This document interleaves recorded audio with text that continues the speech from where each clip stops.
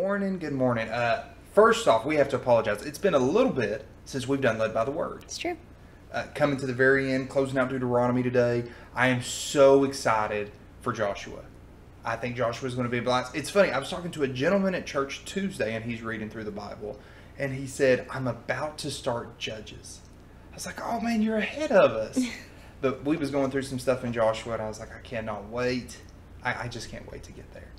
Um, I, I know this is closing out, but this is some really good stuff. We're getting near Canaan. We're getting near all the good Israel. Mm. We're getting to where we, we are today. You know, they've been in the same location for a long time. I know there's some ins and outs and some wars, but it feels, I don't know, we can associate it better to where we are now. Sure. Jesse, would you open us up and tell us where we're at? Okay. Well, I started in Deuteronomy 28 because we are, like you said, closing out these last few chapters of Deuteronomy. And then I got hung up on chapter 28, and I personally did not go any further with my notes. So all my notes are taken from chapter 28. Um, and just starting out, like this morning, it was so encouraging. Um, really, really encourage you to read along with us so you have the context here. But it starts out in chapter 28 talking about blessings. And I was like, wow, I'm receiving this this morning. This is so good. Verse 2 says, and all these blessings shall come on thee and overtake thee. And when I read that, I was like, man, that sounds like an authority. Like it's going to overtake mm. you. Is something overtakes something else, it's almost by surprise, you know, and it's it comes on kind of suddenly, like to be overtaken. Like when you're in the slow lane on the interstate and someone just zooms past you, it's like, whoa, where did they come from? I was just minding my own business, definitely driving exactly the speed limit, and this person just came out of nowhere, you know, suddenly they kind of overtook us. And we've been discussing how I know in our lives that sometimes blessings from the Lord just kind of they do overtake you. You know, they come out of nowhere. It seems like, of course, it's not nowhere; it's from the Lord. But then it'll be like one after the other. I know Mike and I have seen that pattern several times in our lives, like mm-hmm. where it's just like, whoa, what's going on? You know, it's great, but it's kind of surprising. Um, in verses three through six, say, "Blessed shall that be in the city, and blessed shall that be in the field. Blessed shall that shall be the fruit of thy body, and the fruit of thy ground, and the fruit of thy cattle, and the increase of thy kine, and thy flocks of thy sheep. Blessed shall be thy basket and thy store. Blessed shalt thou be when thou comest in, and when thou and blessed shalt thou be when thou goest out. So I guess a good paraphrase of the last verse would be, you know, the children of Israel were blessed coming and going. And when I read that, I was like, oh, yes, I received this. This is great. Like, I want to be blessed coming and going but this was kind of a stipulation that you know that they obey the lord they stay with the lord and they love the lord and carry on this relationship with them. Verses 11 through 14 kind of cover the blessings of the land how it'll be fruitful um, it'll be plenty you know and it was basically like every area of their life was going to be touched by the blessings of the lord if they obeyed the lord and so i was like wow this whole chapter is amazing it's just on blessings you know and then I was like, wait a minute, that's just the first 14 verses. The rest of the chapter, which was like 68 verses, um, it's the consequences if the children of Israel disobey the Lord. Mm-hmm. So I was telling Micah before we started recording, I had a title for my notes just for my own reference. And the title was, I think, Overtaking by Blessings. And then in the middle of my notes, I had to rewrite the title and I called it sowing and reaping. Um, verses 15 through 60, 68, excuse me, kind of deal with all the terrible things that would happen to the Israelites if they strayed from God. They would face plagues, slavery, um, the land would like dry up. They wouldn't have any sort of resources, or the land wouldn't multiply for them. So we kind of see the effects of sowing and reaping, um, which are detailed in Galatians 6 7. And it's something Mike and I have been discussing lately. Actually, yesterday, I think, we were talking about sowing and reaping, mm-hmm. just how, you know, a man reaps what he sows. And I was thinking how the Lord really broke this down for them. Like there there shouldn't have been a surprise to the Israelites. Like and to me it seems like they're always kind of surprised, like reading through Exodus and everything about how they would stray or they would have false gods and then, you know, they would get sick, some of them would be murdered, you know, and they were like, What whoa, what's going on? Like and the Lord is very upfront about this. You know, he doesn't leave anything to vagueness or you know, to your own thoughts. He's like, this is what's going to happen if you obey me or you don't. And he just explains like the natural consequences of actions. When we hear consequences of action, we always think it's negative. You know, like, uh oh, it's the consequences of my own actions showing up again. But there's good consequences. You know, you eat right, you you know stay healthy. That's a consequence of the action. And I think it's so important to evaluate ourselves and see what we are sowing in our day to day lives. So, like, are we sowing seeds of hate and bitterness and strife, you know, um, anger? The fruit of the Spirit isn't made manifest by carnal seeds. You know, that's the Spirit, not the carnal man. And Micah was with me. I had a situation two days ago where I did not show the love of Christ, and I felt really bad about it. I still feel bad about it. And I told him, I said, well, at least tonight is a prayer night so I can pray through it, which I did. And I've had to do like a lot of apologizing to the Lord, and I've asked Him, you know, let this situation come up again, and you guide me, direct me. I want to be more like you, you know, just use this opportunity to make me more like you. Because obviously, there's things that are too much like me, like my old flesh, you know, that need to be taken out. Because I don't want to be the person that sows seeds of strife or contempt, um, contempt or bitterness, or, you know, that's not what we've been called to. So, to, right now, this is Thursday morning and we're doing led by the word. Tonight is game changers. Right. And we're having a full service. And my thought tonight is draw nigh to God, he'll draw nigh to you. And I'm teaching I've always thought you draw nigh to God and the benefits are the blessings. The benefits aren't the blessings, the blessings are the blessings. Hmm. The benefits are he'll change who you are. So I'm I'm wanting to teach tonight are we drawn to him if we're not changing? Mm. So I was just going to teach and uh, not put pressure on anybody. You have to talk about this tonight. this is, I mean, this is two times. We haven't talked about this. We haven't conversed about this. I'm going to Psalms 103. I'm sorry, I'm supposed to be in Deuteronomy, but I, Psalms 103 is what happens when you draw nigh to God, and um, it, God God expects change, and you know we're surprised. I, I love that's literally my notes is being surprised by the obvious. And it happens to me all the time. Me too. It happens to them all the time. They're like, man, I feel like my life is not in the the best atmosphere. I feel like it's not in the best control. I feel like it's not going in the the direction I expect it to go. And then our first blames is, well, where's God? Where's this? God ain't changing. God ain't backing away. God ain't leaving you. Look at some of your past choices and some of your current reaping. Mm-hmm. And that that's a painful, painful thing. Me and Jesse, we talked to Dad the other day. We're like, listen, we are seeing more souls saved. We are seeing more uh, marriages restored. We're seeing more healing. Right now, it's like Oasis Ministries is having all these great things happen around it. And Dad said, this is the reaping from all those hard years of work and seed sown. But Dad said, don't be discouraged that we just reap once. He said, this year we're sowing harder than we've ever sown. And next year's another reaping. And he said, We're just in that reaping season of seeing people's lives and eternities touch. But dad dad's read this and had that recognition. I am currently working on this of when I sow something there is a reaping. Now how many is thankful of redemption? Oh yes. Redemption yeah. is not reaping what you're sowing. Redemption is a God literally died on a tree, a God, not a man, a literal God died on a tree. So I don't have to reap from my mistakes. I don't have to reap from this stuff but there are still certain laws that we reap from.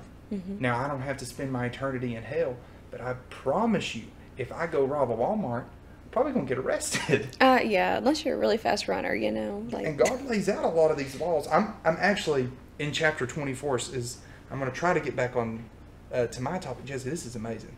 We're we're talking like this today, but it's funny. Mine's not right now. Mine's later. So you got to talk with the kids tonight. 24 chapter 24, verse 17. First, I want to talk a little bit about God. Um, people give God a really bad rap for this part of the Bible. They say, oh, he's mean, this, this, and he's a hateful God, he's a harsh God. I want you to see I have two words here. Uh,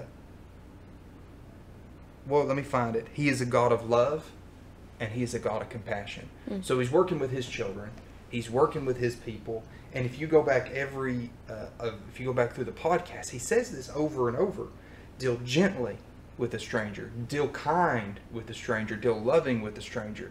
And he'll often say this because you were once a stranger. Isn't it amazing how Christians can be so judgy of sinners? Mm-hmm. It's like, man, their life's falling apart. Look at them. Look at what they're doing. Look at their mess. Look, that that's going to send them to jail. That's going to destroy their family. Oh my goodness, we the judgiest people. We are. And God's like, no, no, you're on your way to your promised land. But remember, you was once a stranger in the land. So here's verse 17 again, chapter 24. Thou shalt not pervert the judgment of the stranger nor of the fatherless, not take a widow's raiment to pledge. He's still warning them about judging strangers. I mean, we're way, this is probably the 10th time he's got to tell them, but he's going to tell them anyways. This is nothing, I don't have a spiritual thing here. I just thought this was amazing. Uh, let me find it. It's chapter 25 and verse 4. Thou shalt not muzzle the ox when he treadeth out the corn. So I wondered what that means. So back then, you got an ox, and you have him pulling and uh, getting your corn ready. What they would do is they would put a big muzzle on their face so they couldn't eat none of the crop. Because an ox could eat up to 3% of his day's pull. Hmm. God, God's telling them, listen, this animal's doing 99% of your work for you. You couldn't do this without him. Let him eat. Hmm. God literally loves the ox so much that he said, I know at the end of the day you could put him in a green pasture and let him eat grass that doesn't affect your income. Let him eat some good pull while he's working. I don't know, that, that verse touched me. God, really cares about his creation. That was really sweet. Yeah, and it, it touches me. It lets me see when you let's just be let's be honest. You see people littering, that mm-hmm. is not Christ-like. God's looking around at His world, and w- when you see people treating animals bad, that is not Christ-like. It's true. We may think, well, God cares about people, and I've heard people say this. I, I can do what I want with this place. I can do what I want with this animal. It, this has convicted me. We got to treat everything with this love and care that Christ expects. hmm Like God, God didn't just say this stuff for this man that's doing this field. God said this stuff for us to know. Okay. Uh, if you read chapters 25, verses 5 through 7, you'll see the full framework of the book of Ruth, how they lay it out. And I thought that was amazing. Um oh, 25, verses 14 and 15. I had no clue what this meant. Uh, thou shalt not have in thine house diverse measures, a great and a small. But thou shalt have a perfect and just weight, a perfect and just measure shalt thou have, and the days may be lengthened in the land which the Lord thy God giveth thee. So we got Jensen on camera here. Jensen, I didn't know this. You may know this. Jesse may know this. When they would sell grain, these people would get weights that would be like this is whatever their measurement is. Let's say one pound. Here's one pound. So they put the grain on one side, the pound on the other to make sure. Okay, I'll sell you one pound of grain. They would take these weights and drill out holes. So they would have false weights. So it would be labeled one pound on the outside, and I could scam somebody. So God said, In your house, if you have one of them false weights, I will curse your days and you will live less on this earth. Wow. He said, If you're going against somebody that needs food, he said, I'm going to curse you. And I was like, Oh my goodness. You, you read some of this stuff, I, I had no clue what that meant Sure. how to research it. So he's telling them, he said, you treat your other man with 100% honesty and respect. And there were no ifs. There were no if they're good to you. There were no if they're better than you. There were no if they've never sinned.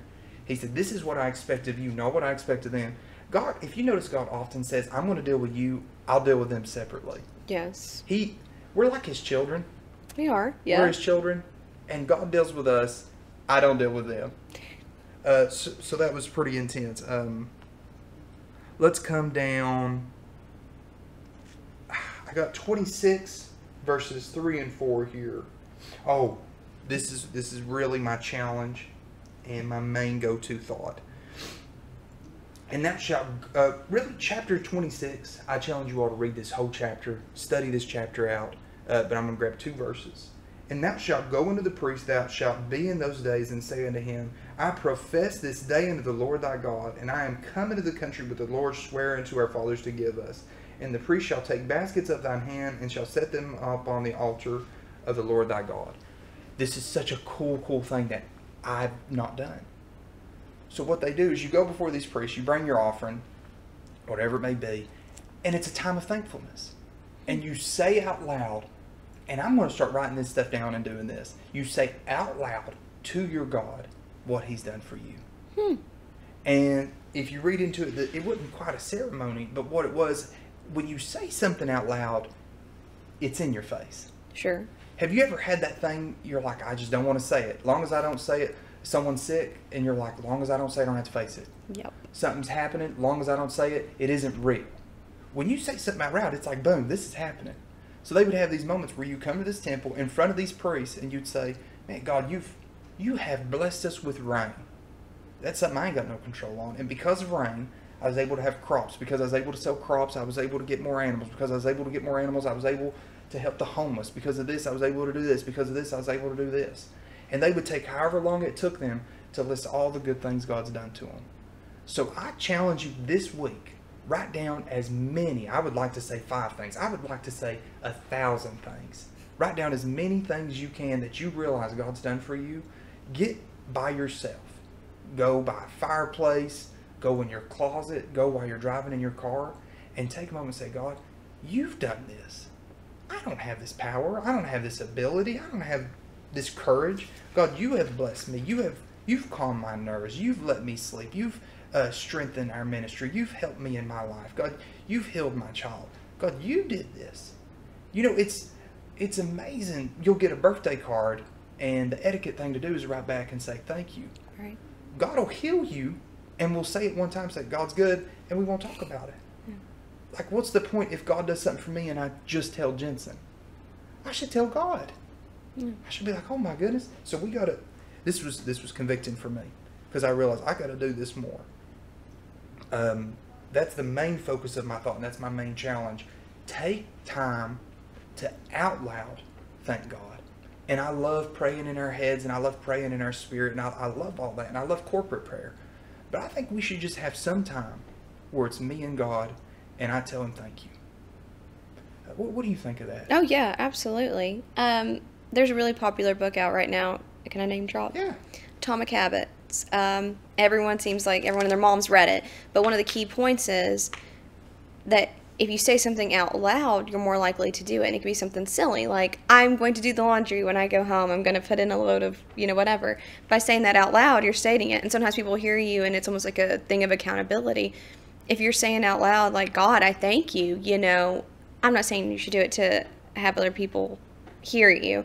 But when I'm in the altar and I hear Brother Jerry Stevens praising God for specific things, it does something in my spirit. I mean, it mm-hmm. encourages me for one, but I'm like, yeah, God, you're good. You did this for Jerry and his family. Like, it's it is more. It's like an edification, really. It mm-hmm. is. So it's a lot of things. It's and like you said, you don't have to do it in the altar. You can do it in your own closet and everything. But when you say it out loud, it does. It adds a little oomph to it. And you're right. Like people don't want to address things like sickness or whatever or even tricky work situations. Like we have a lot of technical things that Micah has to work through, and he's like, and so I'm like, what's going on? Like I could tell you, and he's like, I just I don't even want to say it right now because it adds so much more Adds more realness to it. You know, yes, it does add more pressure.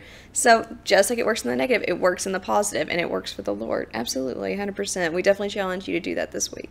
Yeah, and I, I, I want all of us in the office. I'm actually I'm going to text everybody and say, let's see if we can take some time this week and in our private moment, and if, if your first time you may do just a couple minutes of God, I thank you for this, this, and this. But I bet if we do this consistently, we're going to end up having a 30, 40 minute prayer of realizing, my goodness. And I think when you put focus on what God does for you, you see it more. Mm-hmm. It's like when you buy a vehicle and you've never seen that vehicle in public, but then when you buy it, you see that vehicle everywhere you go. There's a name for it. It's where your eyes are actually looking for it. And I think, like when mom and dad got a Honda Pilot, never saw a Honda Pilot in my life. Now it's like I park between three of them. Yeah. It's wild. It when we take time to see what God's done for us, it's going to grow, and then we're going to be like, God's fighting for me right now Mm-hmm. uh, Jesse was in town the other day, and Jesse had a huge moment of outreach. And then I was like, that's amazing. God used Jesse. We go for a walk, and then God uses me. And I think it had to be that God had me watching that. And, and I think it's just amazing if we take time to look for opportunities and look for places to thank Him, we're not going to miss them. That's just fact. Okay, let, let me get let me get where I'm going. A lot of this is in Leviticus. I apologize, but it just come down and, and all this stirred me up. Leviticus 44 and 45, but he talks about how you must be holy because I am holy. You go to Leviticus 19:2, be holy because I, your God, am holy. And you go to Leviticus 27, be holy uh, for I am your God. Um, God talks a lot about the holy, being holy, right? So 1 Peter 1:16, for it is written, be holy because I am holy. And, and I found this in a blog, and this just really touched me. Old scripture is so important for us because when you look at the New Testament, in First Peter, they quote Old Testament 69% of the book. Hmm. And that just lets us know that's what they live by. So we can't take none of this for granted. We can't take none of it. Like it's so easy for me to just breeze past the ox part, but it lets me know everything in God's creation is important. That ox didn't have a name. He said an ox. Mm-hmm. We, we don't know his specific story. I don't know what he was born into. I don't know his color. I don't know if he had any spots on him. I don't know nothing about this ox. All I know is that God cared for it enough to tell a farmer, you give him at least 3% of your crop. If he needs a moment to take a break and eat a snack, let him do it. And so much of this we just breeze through, and we I love the story of uh, the crucifixion because that lets me know somebody like me gets to go to heaven, and I love that. But we need to not take none of this for granted. Um, coming to a close here, please do this challenge this week and realize, draw a nigh to God. The blessings are blessings, they're not benefits. The benefits are God will change you. Amen. Psalms 103. Go read that. Thank you so much. God bless. God bless you.